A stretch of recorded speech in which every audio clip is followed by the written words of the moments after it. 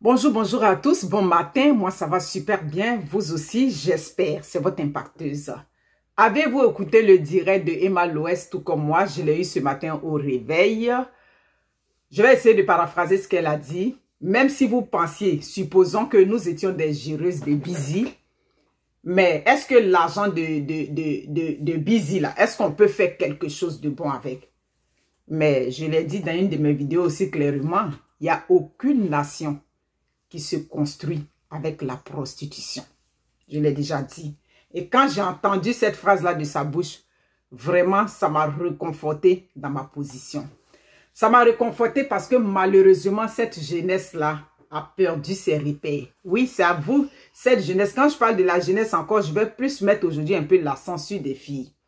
Parce que Emma Louès, elle a dit, si j'ai mis mèche jaune aujourd'hui, vous, vous partez, vous mettez mèche jaune. Mais est-ce que votre derrière est soudé comme moi?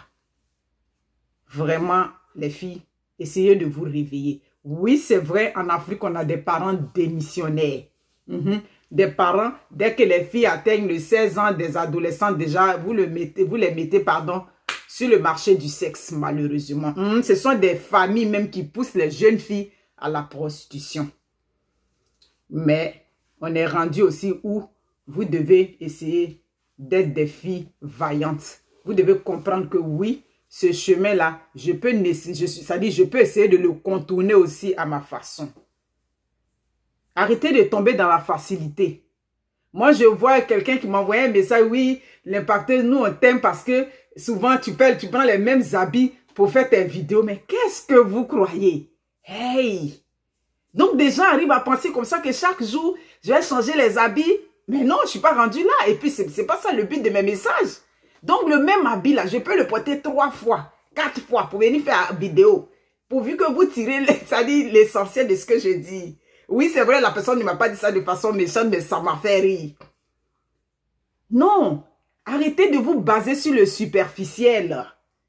Allez à l'essentiel.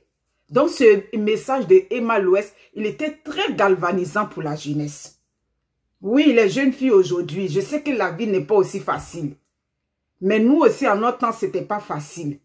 Mais on a essayé de se battre, on a essayé tranquillement, c'est-à-dire de, de, essayer de tirer le positif jusqu'à ce qu'on soit rendu là où nous sommes.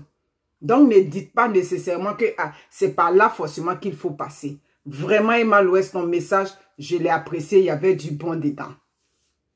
Elle a même dit qu'il y a des personnes qu'elle qu l'embauche dans son institut. Et quand vous venez, au lieu de penser au travail pour lequel vous êtes là, vous espérez qu'on vous mette en contact avec des gens.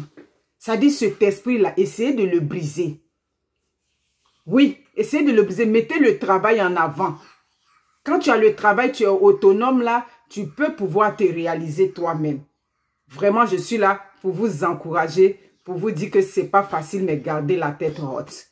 Nadège Koulibaly, merci à toi pour la tasse. Je l'apprécie. Ça me ramène aux sous. Ciao. En tout cas, big up à toi, Lolo. Ciao.